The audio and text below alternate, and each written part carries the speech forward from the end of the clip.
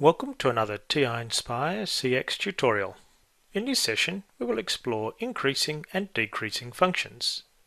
This session was inspired by the daily weather forecaster on the morning news.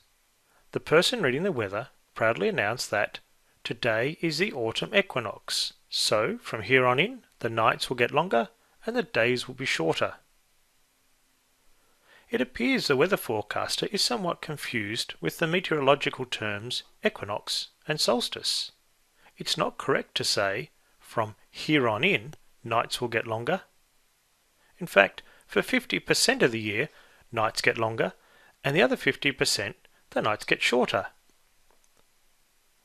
These transitions occur at the summer and winter solstice, not the autumn and spring equinox.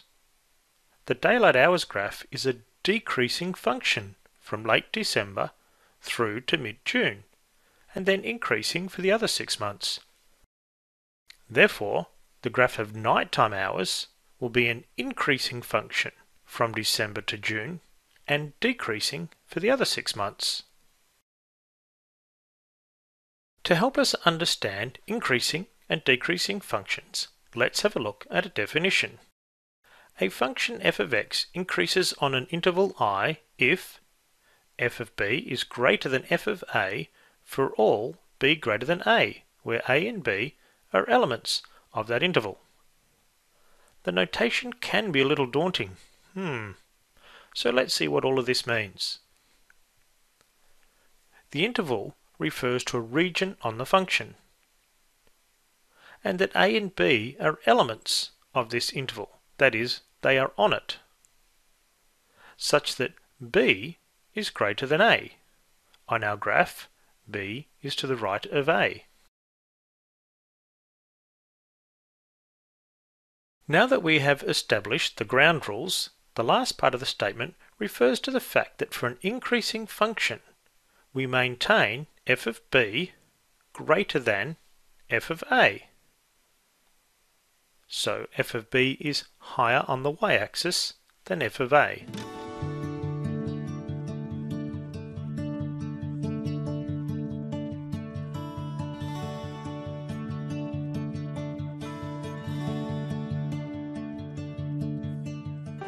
Here's an example of an increasing function.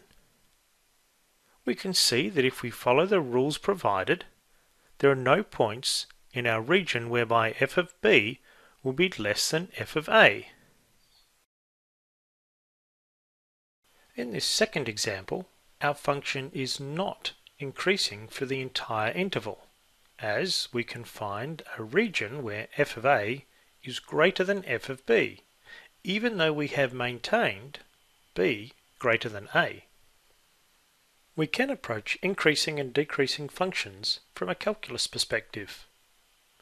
If we graph the derivative of our function, we can see that our original function is increasing when the gradient function is positive.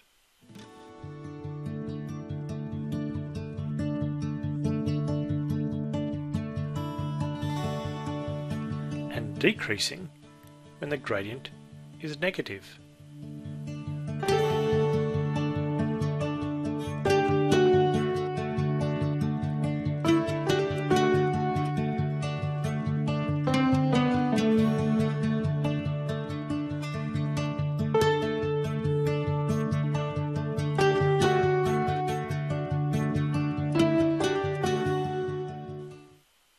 Now let's try a sample question.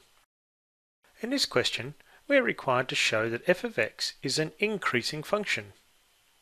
We are not given an interval, so we will assume that it must be increasing for all real numbers. To do this, we can use calculus to find the derivative.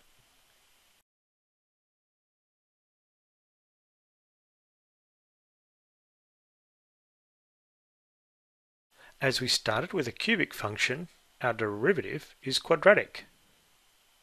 We could graph the result to look for clues as to what to do next. We notice that the quadratic is always positive. We can show this algebraically. As the gradient function is always positive, then our original function is always increasing.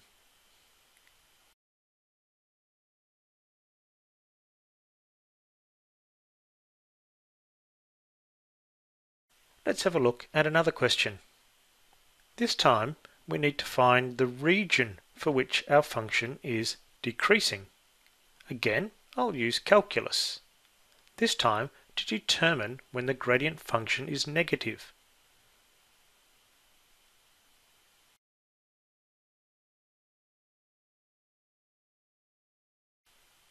So what about the endpoints? Do we include them or not include them?